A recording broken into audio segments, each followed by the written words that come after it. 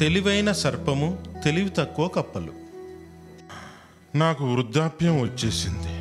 అందువల్ల నేను స్వయంగా వేటాడి ఆహారాన్ని సంపాదించుకోలేకపోతున్నాను. నా కళ్ళ ముందే ఈ కప్పలు గెంతులు వేస్తూ ఆడుతున్నాయి. నేను వాటంత వేగంగా వెళ్ళలేకపోతున్నాను. కానీ నేను ఒక ఉపాయం ఆలోచించాను. ఆ ఉపాయం గాని ఫలిస్తే వచ్చే రోజుల్లో ఆహార సమస్య ఉండనే ఉండదు. పామంకిల్ ఈరోజు మీరెందుకో చాలా విచారంగా కనిపిస్తున్నారు.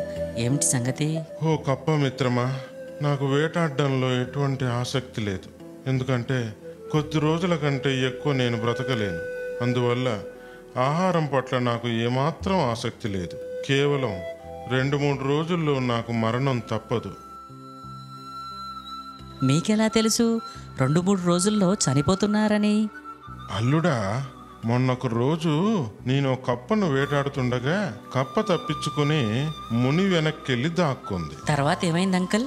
కప్పను వేటాడే ప్రయత్నంలో మునికుమారుణ్ణి కరవడం జరిగింది. అప్పుడు ఆ ముని ఆగ్రహించి ఈ విధంగా శపించాడు. ఓ ముసలిపామా మిగిలిన ఈ జీవితాన్ని కప్పలను మోసే వాహనమై బ్రతుకు పొమ్మని శపించాడు. అర్రే అయితే మేమంతా నీ విప్పుపై స్వారీ చేయవచ్చు కదా? అవునల్లుడా అందుకే నేను ఇక్కడికి వచ్చాను. రండి. సోదరులారా రండి. పామంకల్ వీపుపై ఎక్కి స్వారీ చేద్దాం. రండి. ఈ పాము వీపుపై మనం స్వారీ చేయడం నిజంగా ఎంతో బాగుంది. నేను ఇంకొక్క అడుగైనా నడవలేను. పదండి అంకుల్. ఎందుకు మీరు ఆగిపోయారు? చూడల్లుడా నేనా వయసు మళ్ళిన వాణ్ణి మీ కప్పలేమో చాలా బరువుగా ఉన్నాయి.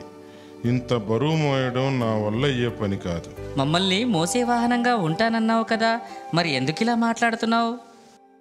నేను కాదనడం లేదు కానీ నేను చాలా ఆకలిగా ఉన్నాను. నా కడుపు ఖాళీగా ఉంది. ఏదో ఒకటి తినకపోతే అడుగు కూడా ముందుకు వేయలేను. అలాగే ఈ కప్పను తిను.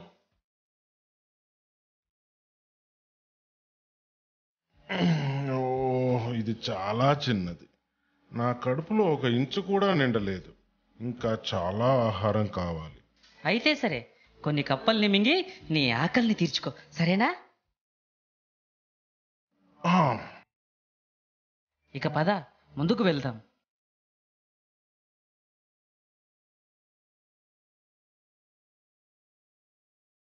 ఆ, ఇప్పుడెందుకు ఆగిపోయావు పామంకుల్? ఇంకేముంది? నాకు ఆకలి వేస్తుంది. మీ కప్పలు చాలా బరువుగా ఉన్నాయి. ఇక్కడి నుంచి ప్రయాణించడం అసంభవం. మేము నీటిలో జీవించే జీవరాశులం. మేము ఇప్పటికే మడుగుకు చాలా దూరం వచ్చేసాం ఈ ప్రయాణం కొనసాగించి తిరుగు మేము మా మడుగును చేరుకోవాలి. దయచేసి ప్రయాణం ప్రారంభించవా? అయితే మాలో కొన్ని కప్పల్ని తిని మా గమ్యాలకు మమ్మల్ని చేర్చవా పామంకల్?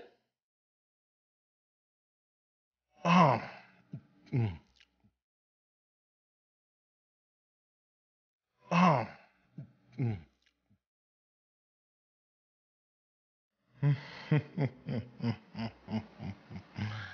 నా ఉపాయంతో ప్రతిరోజు ఇంత ఆహారం లభిస్తుంది ఇక నేను ఆహారం గురించి చింత చెందాల్సిన అవసరమే లేదు కానీ ఈరోజు మడుగులో నివసించే మొత్తం కప్పలు నా పొట్టలోనే ఉన్నాయి ఇప్పుడు ఇంకో కొత్త ప్రదేశాన్ని ఎంచుకోవాలి